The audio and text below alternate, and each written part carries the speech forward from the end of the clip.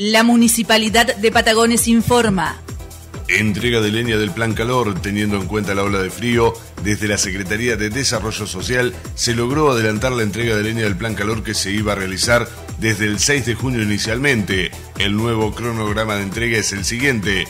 El primero de junio en el Mirador y Colonia Ferroviaria, el mismo día en Cardenal Cagliero y La Baliza, el día 2 de junio en el Lorito, La Loma y Barrio Seferino, y el día 3 de junio en Villarrita, Villa Mazzini y Barrio Dolores.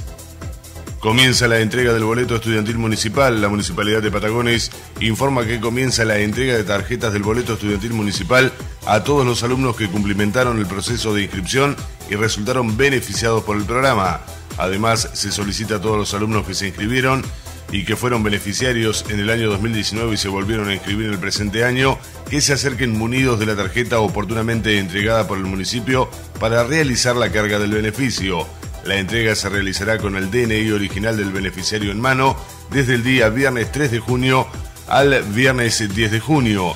Esto será en la mesa de entradas de la Municipalidad de Patagones, sito en calle Comodoro Rivadavia número 193, en el acceso por las escaleras de la calle Comodoro Rivadavia, en el horario de 10 a 15 horas.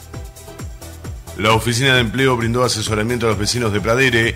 El pasado lunes la coordinadora Estela Fibiger y personal de la Oficina de Empleo se hicieron presentes en la localidad de Juan A. Pradere con motivo de brindar asesoramiento a la comunidad sobre los servicios que se brindan a través de la misma. El encuentro fue coordinado con la delegada de la localidad, Rosana Teruel, y se llevó adelante en las dependencias municipales.